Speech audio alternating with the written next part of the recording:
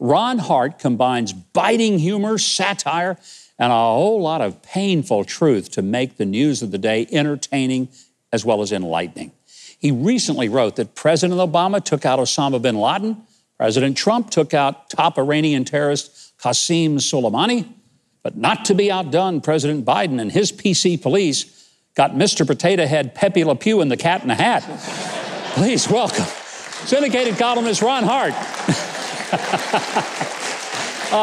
I, I, never miss reading your columns. They are the, they're the best in the country going on right now because they're funny. So, are you just a naturally funny guy? Uh, naturally uh, cynical, maybe. yeah, kind of funny, I guess. Yeah, you look at the absurdity of Washington and you do it from the right side of the ledger, it's not very hard to make fun of them. It's crazy. I mean, it is crazy. What's yeah. happened to this country? Well, they got rid of Mr. Potato Head, right? So yeah. he was a kind of a uh, gender neutral, uh, mustached, kind of expressionless face person. You know, it could have been a host of The View. I, I mean, it was, and so these these potatoes are really getting, you know, and, and they're going to change. You know, of course, you got Idaho potatoes. Yeah, you're going to have to change that name because they're, they're there are loose women in, named Ida. They aren't going to like that at all. You know, so. well, one thing about it, I mean, they're clearly baked. There's right. no doubt about that, right? like, you got you got a situation now like you got. Uh, you know these bands, Dixie Chicks. Everybody loves the Dixie Chicks. You used to, I guess, yeah. at some point. And then you got your uh, you got your band. Uh, you got uh, Alabama, of course. You got Lady Alabama. Lady Antebellum changed yeah. her name. So Alabama it's just a matter of time. They're going to have to change their name to Vermont. I know those guys and I love them. And I want to tell you something. They will They'll never do that. Good for them. They are, they are too real. They're I love them. fat off of royalties. Then and they deserved every penny of it for sure. God bless you also talked about this ridiculous interview that the Royals, Harry and uh, Meghan, had with Oprah. Yeah. Uh, I, I love your characterization that here we're a billionaire interviewer and two people who are royalty talking about how tough their lives are.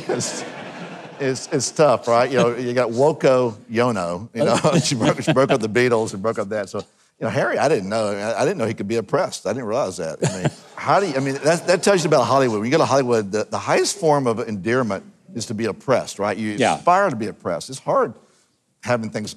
I like celebrity every now and then, like you used to be that way. Like, hey, I'm enjoying this. This is a pretty good ride. Listen, like, I knew how I grew up, Ron. I was, you know, catching chickens when I was a kid. Anything beats that. So I'm quite happy doing what I do. I'm not impressed. Too. What's the gratitude? You know, there's, you know, Tony Bennett's made a great career of having gratitude. Yeah. You gotta have gratitude. These people are just angry, and that's the, that's the culture we live in right now. It's a sad situation. Well, it, it's very true on what used to be late night comedy shows. We used to laugh at Johnny oh, yeah. Carson and Jay Leno. Now, all of these guys, they're supposed to be comedians and hosting comedy. They're not funny, and they're angry. Right. And they're just screaming out. Trump's and, ugly. He's fat. He's orange. Yeah. There's no, there's no, there's no creativity anymore. It's not no. funny anymore. I say Biden could throw his own surprise party, then, then, then I'm a racist. Uh, you know, I, I, that's hate. That's hate speech, right? So the left uh, has done a great job of defining the narratives in this world and, the, the, and it's against their agenda. And it's a small vocal few of them, but then, nonetheless, you got to abide by it because you got to be really careful out there. You know, we, have talked, and a lot of this stuff is funny because it's the only way you can cope with it is to laugh at it. It's so ridiculous. But there is a serious side of all this, and that is that the woke cancel culture is really dangerous mm. to free speech, to the Constitution. Does it worry you that people are going to say that Ron Hart is dangerous? He's a racist. We got to get him out of all these newspapers he's published in. I got kicked out of our Panhandle papers. The Gannett papers kicked me out. Uh, they were owned by Gannett, USA Today, which mm. if you've never seen USA Today, it's a cartoon, like a coloring book. it's supposed to be a newspaper, but anyway, they, kick, they kicked me out. So I'm still a 55 newspaper, just fine. But, you know, the cancel culture is a weird situation because the, you, you have freedom of speech in America right now, correct?